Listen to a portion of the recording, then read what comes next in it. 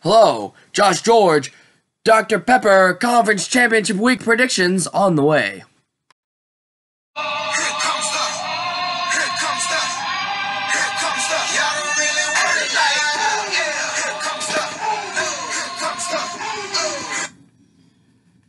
Let's pick some conference championships. Let's start with the Friday game in Santa Clara, California.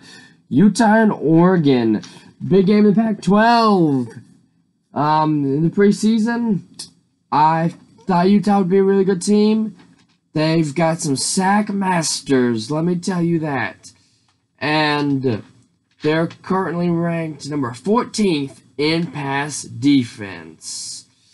But Justin Herbert, he's number ninth overall in passing touchdowns. Now, Utah number three in total defense. It's going to be that defense. And Tyler Huntley for Utah has been a hot quarterback. Utah's got a chance to get into the playoff. Maybe it'll be them or the winner of the Big 12 game, I feel like. Um, really, it's going to come down to who can make the big plays. I feel like Justin Herbert in his fourth year. I know we're talking about two senior quarterbacks, but he's the kid that's going to raise his draft stock in this one. He's the one I trust leading a last second drive. I've got the Ducks 35, the Utes 28. Baylor and Oklahoma. Arlington, Texas hosts the Big 12 title game, the rematch. Now, one fact I must mention CeeDee Lamb, uh, the number one Sooners receiver, was out last time these two teams played. He could play a huge factor. It was the big comeback for OU. Great first half for Baylor. Great second half for the Sooners. It's just which one are we going to see? I think we see a mix of both. I think both teams kind of throw that last game out and totally new game plans. Jalen Hurts has played one of his best games of the season last week against Oklahoma State. No turnovers. I feel like if the Sooners don't turn over the ball and maybe they create some turnovers in this one, they've got a really, really good chance to win. Um, Baylor's a great football team. They're going to need to create turnovers to win. That's what it comes down to to me. I've got the Sooners, though. They're the more talented team. They've won four in a row. I think they can win five in a row. Sooners 41, Bears 31. Now, the Chippewas and the Redhawks. Central Michigan and Miami of Ohio for the MAC Conference Championship. This could be a really interesting game here. Um, I think that Central Michigan is going to have a good chance to win because John Ward, he has 1,056 rushing yards. They're gonna they're a ball control team, and the FPI gives Central Michigan a 62.6% chance to win. Give me the Chippewas. 23, the Redhawks. 20. Now, the Sun Belt Conference Championship. And you've got uh, you've got the Raging Cajuns, Louisiana, and you've got Appalachian State, number 25 in the nation currently. I think this could be a really good game. It's going to come down to defense, defense, defense. And who has the number 19th total defense in the nation? That would be Appalachian State. Now, I know Billy Napier is a good coach. He's got Louisiana to 10 2, but I don't think his offense is going to quite have it against this good defense. I've got Appalachian State 28, Louisiana 17. UAB Blazers against the FAU Owls. Lane Kiffin started 0 2, got blown out to UCF the Knights, and got blown out to Ohio State. Starting to turn things around, got his team to a conference title game. UAB, though, trying to go back to back conference championships.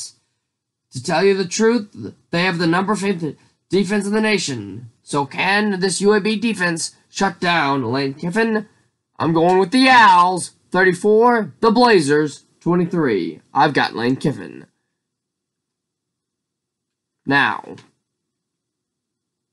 to the next game on the slate of games. There it is.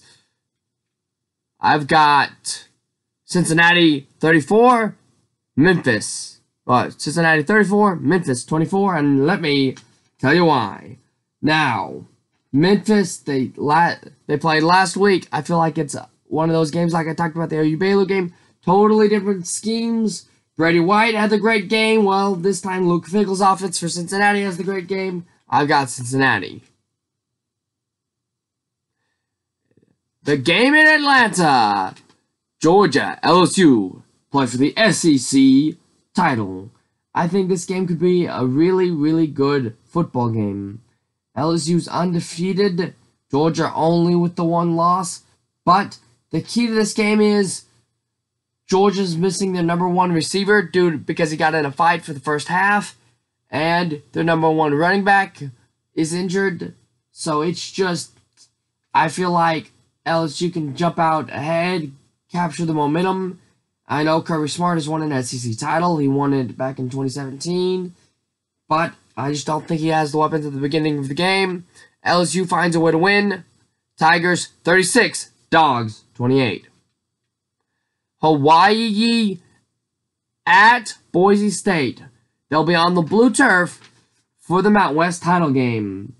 Boise State has a really good defense led by um led by Curtis Weaver. He's number five in total sacks this season, and the number one non-power five freshman quarterback in Hank Bachmeier. I think he's what leads Boise State to a win in this one. 26 to 17.